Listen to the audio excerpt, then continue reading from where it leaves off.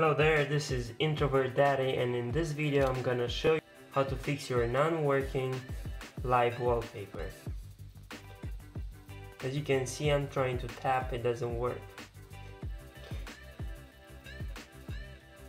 I'm gonna go to settings and this is how you set up a live wallpaper. And then choose a new wallpaper, you're gonna choose the live one, pick any of this and then it says press on the screen to see this wallpaper animate it doesn't do anything right?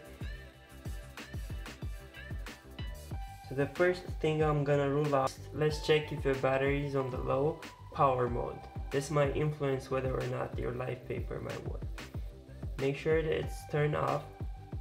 And if you don't have enough power just plug in your phone into the wall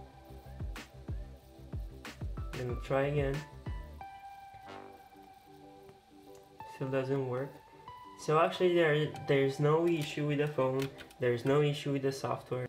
Either your 3d touch is turned off or you're not used to it. So I'll recommend just try pressing the screen and then press a bit harder and see if it works.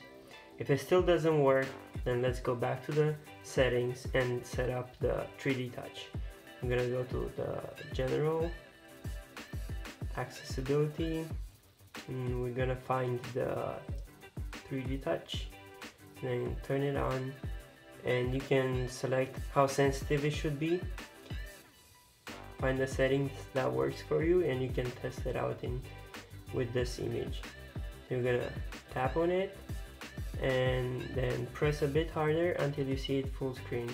Let's go back to the wallpaper and see if it works now